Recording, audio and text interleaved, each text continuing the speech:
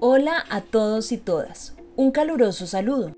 Dentro del Programa Nacional de Concertación Cultural Vigencia 2021 se ha realizado un convenio de apoyo artístico y cultural entre el Ministerio de Cultura y FENASCOL, con un proyecto titulado Fortalecimiento a la diversidad lingüística del país en la lengua de señas colombiana desde las organizaciones. En este proyecto sobresalen tres acciones principales. Primera,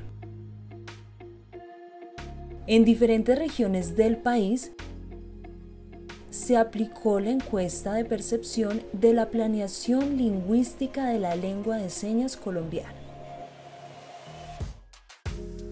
Segunda, talleres de formación en planeación lingüística en las siguientes regiones de Colombia.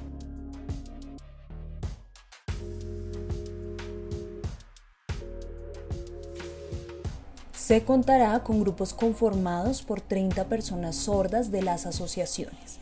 Además, se capacitará a 15 instructores sordos de la lengua de señas colombiana. En total serán capacitadas 45 personas en estos talleres de formación en planeación lingüística de todo el país. Tercera, Encuentro Nacional de Asociaciones de Personas Sordas del país en torno a la planeación lingüística de la lengua de señas colombiana. Las actividades programadas en el marco de este proyecto darán cierre en el mes de octubre. Les estaremos informando los avances. La cultura es de todos. Ministerio de Cultura.